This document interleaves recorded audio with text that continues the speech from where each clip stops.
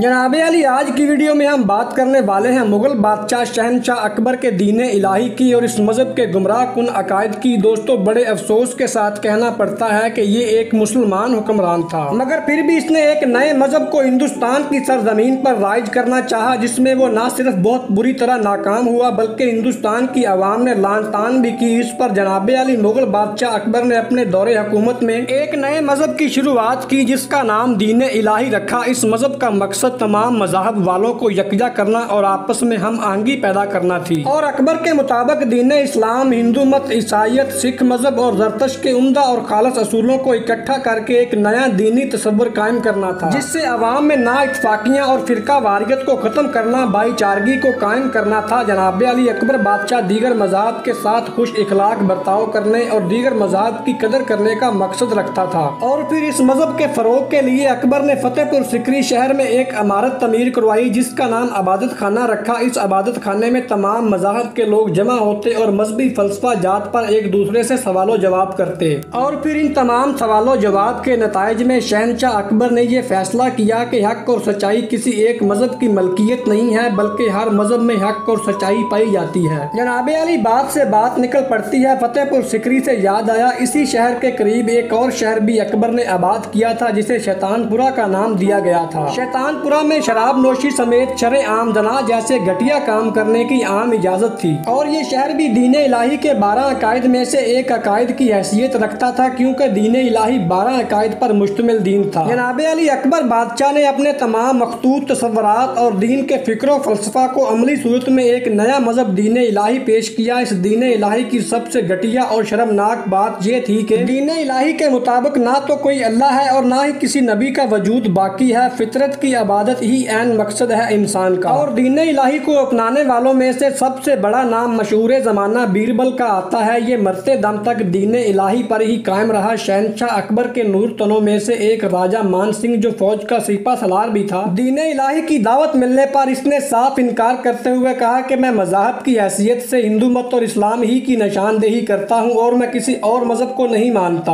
और मुसन्फ मुबाद शाह की किताब दबस्तान मजाहब के मुताबिक इस दीन इलाही के पैरोकार सिर्फ़ उन्नी अफराद ही रहे और फिर वक्त गुजरने के साथ इनकी तादाद में भी कमी होती गई। जुल्म की इंतहा ये कि अकबर बादशाह ने इस दीन इलाही पर अमल करवाने के लिए लोगों पर बड़ी सख्ती की, बल्कि इनको मजबूरन ये मज़हब कबूल करवाया गया। और बहुत से लोगों समेत इस वक्त के उलमा ने भी डर और खौफ के मारे इस मज़हब को कबूल कर लिया था। और कुछ लोगों ने रुपया पैसे के लालच में आकर दीन कबूल किया। चंद लोग ऐसे भी थे जिन्होंने दिल से नहीं, बल्कि अपनी और अपने खानदान की जान बचाने के लिए इस दीन इलाही को कबूल किया था। जनाब अली असल में देखा जाए तो अकबर की हिंदुस्तान पर हुकूमत करने के साथ एक नए मज़हब का बानी बनकर लोगों के दिलो दिमाग पर कब्जा करने की ख्वाहिश थी। और फिर अकबर ने यह मकसद पूरा करने के लिए एक ऐसी चाल चली जिसे आज डिप्लोमेसी कहा जाता है। वो हर मज़हब और मिलत के आदमी की दिल जुई करता और साथ में नहायत चलाकी से इसे ये बावर करवाने की कोशिश करता कि अब जमाने के बदलते रुझान और तकाजों के पेशे नज़र पुराने मज़हब खत्म हो चुके हैं। दोस्तों, अकबर चाहता था कि हिंदुस्तान के तमाम मजाहब को मिटाकर एक नया मज़हब कायम किया जाए, जिसमें तमाम मजाहब के लोग अपना पुराना दीन छोड़कर दीन इलाही में शामिल हो जाएँ और इसकी हकूमत को मज़बूत करें। जनाब अली, ऐसे हालात में फिर एक आरफ कामल मर्द मुजाहद की ज़रूरत थी, जो इस्लाम की दौलत से माला माल बेखौफ व खतरा इन शैतानी दिमाग रखने वाले अनासर के सामने खड़ा होने की ताकत रखता हो। एक ऐसा मर्द कामल, जिसके हर कदम पर कामरानी इसकी कदम बोसी करे, जिधर भी अपनी निगाह कामल करे, सच और झूठ का फैसला करती जाए जनाब अली इस जमाने में आगरा का नाम अकबराबाद था। और फिर ऐसे बिगड़े हुए हालात में मर्द कामल हज़रत शेख अहमद मुजद अलफसानी आगरा से रवाना हुए और फतेहपुर सिकरी में पहुंचकर आपने बड़ी दलेरी से अकबर के दरबारियों से फरमाया, ऐ लोगो, तुम्हारा बादशाह अल्लाह और इसके रसूल की अतात से फिर गया है और अल्लाह के दीन से बागी हो चुका है। जाओ इसे मेरी तरफ़ से जाकर पैगाम दो कि ये दुनिया वशमत ताजो, तख्त, शानो, शौकत पानी चीज़ें हैं। अब भी वक्त है तोबा करके अल्लाह और इसके रसूल के दीन में दाखिल हो जाए और इनकी अतात कर ले, वरना अल्लाह बहुत बड़ा है, इसके अजाब का इंतज़ार करे फिर वो। और फिर दरबारियों ने आपका पैगाम सुनकर अकबर को दिया। अकबर ने आपका पैगाम सुनकर आपसे मुनाजरा करने की दावत दी आपको, जिसे आपने फ़ौरन कबूल कर लिया। जनाब अली, दुनिया को दीन पर तरजीह देने वाले उस वक्त के जितने भी उलमा थे, वो सब अकबर की हमायत में थे, क्योंकि वो भी दुनियावी ख्वाहिशात के गुलाम बन चुके थे। दौलत के नशे ने इनको भी गुमराह कर दिया था। और दूसरी तरफ़ आपके साथ दुनिया को दीन पर कुर्बान करने वाले चंद वली सिफ्त लोग थे। दरबार में मुनाजरे का इंतज़ाम हो चुका था, लेकिन दोस्तों, अल्लाह रब्बुल इज़्ज़त को मंजूर नहीं था कि अकबर जैसे बेदीन और मुनकर बादशाह के दरबार में, मेरे नेक बंदों की रसवाई हो, अकबर भी दरबार में अपने तख्त पर आकर बैठ गया। अभी मुनाजरा शुरू नहीं हुआ था कि ज़ात इलाही जोश में आई एक सख्त तूफ़ान आया, दरबार अकबरी तबाह हो बर्बाद हो गया। और फिर जनाब अली, कुदरत खुदा की देखिए, अकबर और इसके तमाम साथी तो जख्मी हुए, लेकिन आप और इन दरवेशों में से किसी एक को खराज तक न आई जो आपके साथ थे। जनाब अली